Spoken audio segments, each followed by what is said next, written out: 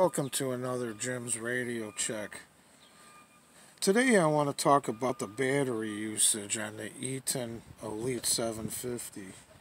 As you know, man, batteries can be brutally expensive. I mean, you know, you if you get uh, two D-size Energizers or uh, Duracells, you know, you're talking probably six bucks for two batteries.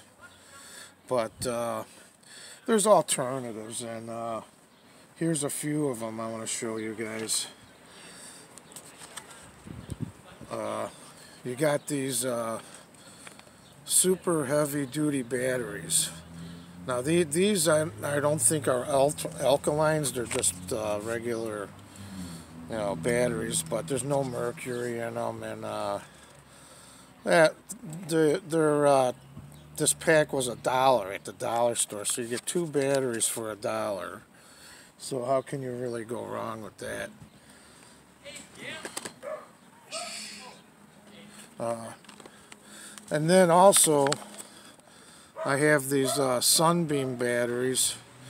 You get uh, two in a pack, and they were a dollar also at the dollar store. It says on the back, same thing, uh, no mercury added. And uh, shows that, that you can use them for radios. So uh, these were also a dollar for two. And I have used these before on uh, my GE Super Radio 2. It takes 6D batteries and they last quite a while. But uh, I actually prefer using alkalines if possible. Now here's another option. I got these, a six pack of them at Menards. And uh, I want to say they were on sale for $3 a package. So I got two packages, so that gave me 12 batteries for uh, six bucks. And uh, yeah, see, they were, uh, yeah, they're from Menards. And I don't it just yeah Menards don't make them but they distribute them these batteries are made in the USA where the other two packs are made in China. Uh,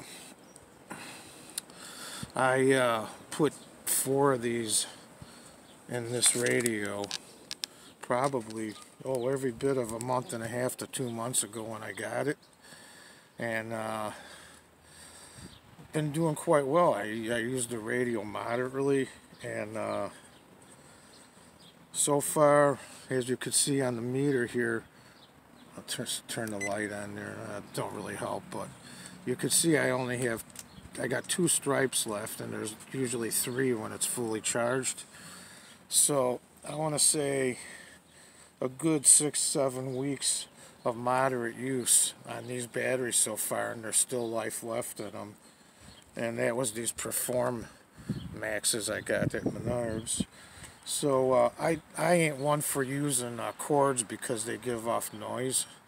So uh, I do if I you know, get in a pinch or something, but uh, I have a ton of uh, rechargeable double A's and triple A's, and uh, I use those for most of my radios.